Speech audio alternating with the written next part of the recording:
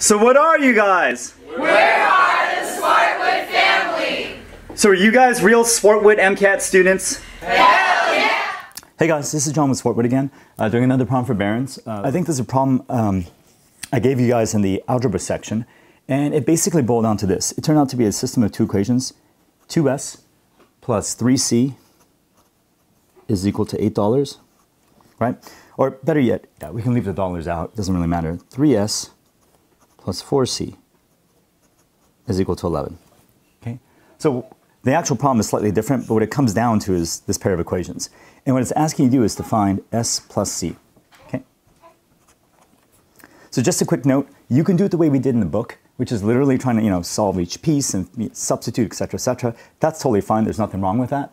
But the way it's often set up, especially on the DAT, and on other tests similar to DAT, right, is that they give, they're not really looking for that because they know you can do that sort of stuff. So what they're looking for is to see if you can find some sort of cheap way out. So in this case, the cheap way out is instead of going for each individual piece, go for the whole thing. Go for S plus C. And sometimes all you need to do is rewrite it. So 3S plus 4C is 11. Right? And 2S plus 3C is 8. But instead of going for each piece, let me subtract one equation from the other. Then you'll see the setup's really nice, right? They did this on purpose, of course. This is S, and this is going to be C. This is that problem by itself would be kind of short for a video. Let's go ahead and take out another problem that, that's related, well, at least a little bit later in the algebra lesson, okay? And that's going to be using the quadratic formula.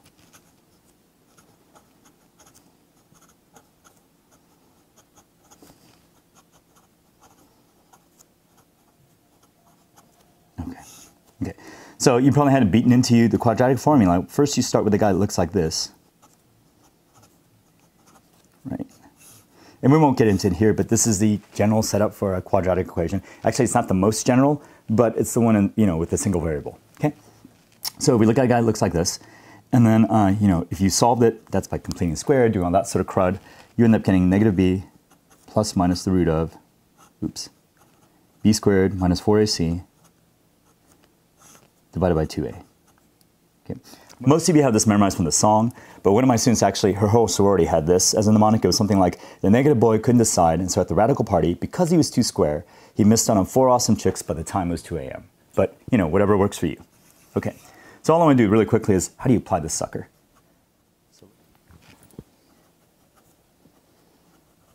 Okay, so let's say we have something that looks like this, okay?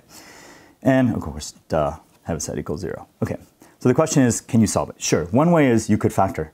And I definitely advise that first because a lot of problems are set up to do that. But just in case, because they claim you need to know the quadratic formula, let's go ahead and solve this guy. So I'm gonna first translate this and make sure I get all the coefficients in there.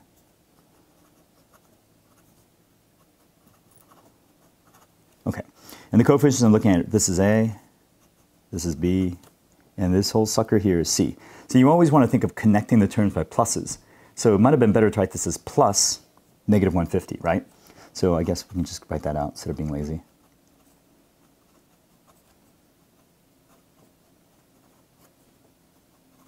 Okay.